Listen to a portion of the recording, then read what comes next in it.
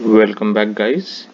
Uh, today we are going to discuss the concurrent hash map and how it works internally. Uh, as you might know you know I often create uh, videos related to Java J2EE interview questions and materials as well as LeetCode solutions.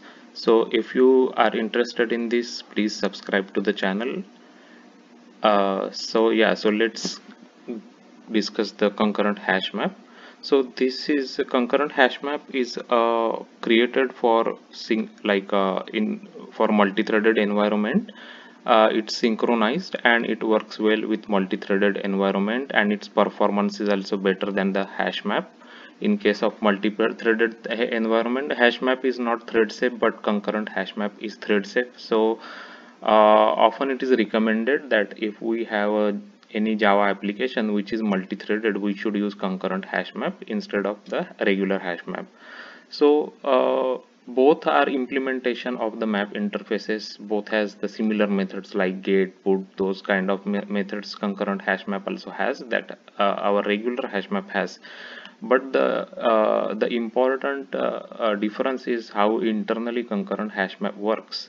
Uh, yeah and the other thing is like uh, you know the main thing is the concurrent hash map is thread safe so uh, we can you know uh, uh just like simply use it in multi-threaded environment without any any kind of issues. So let's go into little details about how concurrent hash map internally works. So let me just uh, pick a color here quickly. Uh, so yeah so here I drew uh, one sample concurrent hash map with four segments. So uh, concurrent map, hash map has a concept of segments and each segment will have a array list of nodes. As you can see these these nodes are the array list nodes right? So key is 101800 and this this next is connected to the next node actually of the array list kind of thing you know and this 121 is next node. It is connected to 151 again next node. And this is the last node which is connected to the null node you know. So this is a kind of a linked list nodes. Um, so um, so segment 0 has nothing in it. That's why it is null. Segment 1 has three nodes. So it's like 101 121 and 151 and segment 2 has only one node here with a 201 as a key and segment 3 has a, again one node which is which is 401 as the key. Uh, so uh, uh, the important concept in concurrent hash map is the segments so if we are actually like uh, there is no concept of locking the whole concurrent hash map table right? So there is no concept of the this whole whole, whole table. We cannot lock it you know for any operation. So how how it works? So for example uh, okay let me just pick a color here. So for example if we are uh, uh, like want to uh, you know like we are updating this key 101 instead of 101 let's say we want to update this key to 501 right?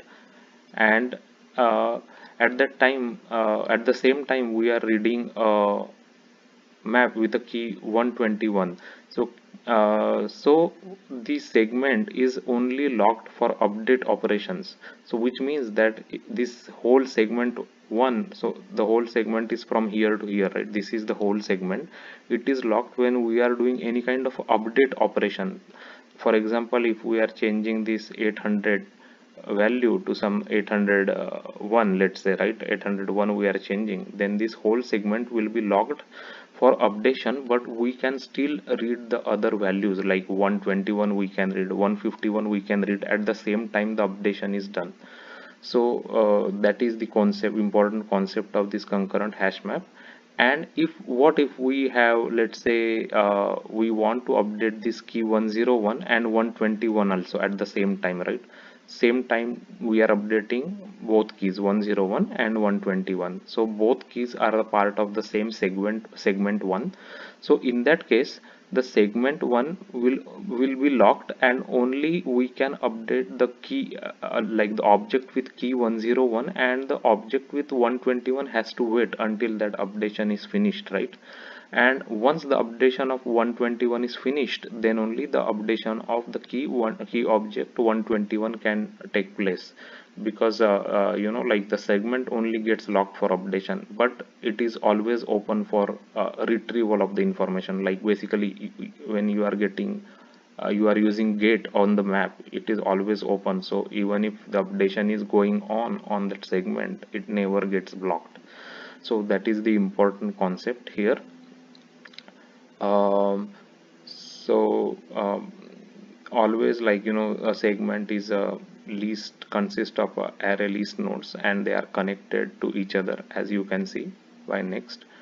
Um, the other other um, operations are like pretty much same as our hash map like the same get and put operations and they are also in constant time uh, uh, the Big O analysis is order of one which is constant for you know any kind of put and get operations.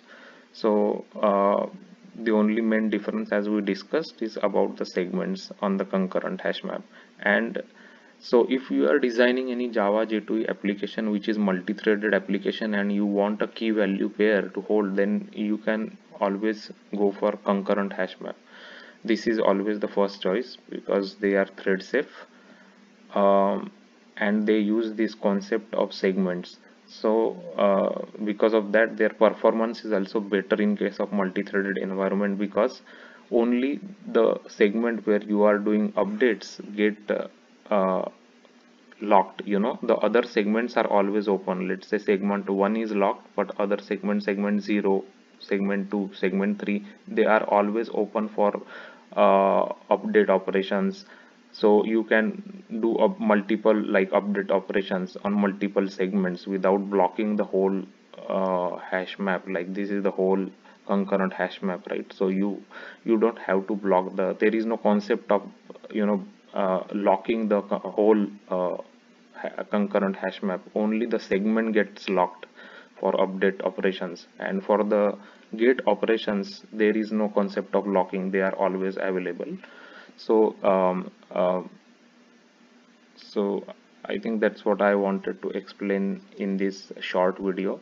So I hope that you understood how the concurrent hash map works inside. Um, so if you like this video please subscribe to my channel and click the like button. Uh, I also you know compiles questions and frequently asked questions related to Java J2EE and uh, create materials and which can you know help junior and mid-level Java developers in you know answering the questions and how, how to answer those questions yeah, during the interviews. So if you are interested please subscribe to the channel and uh, thanks for watching the video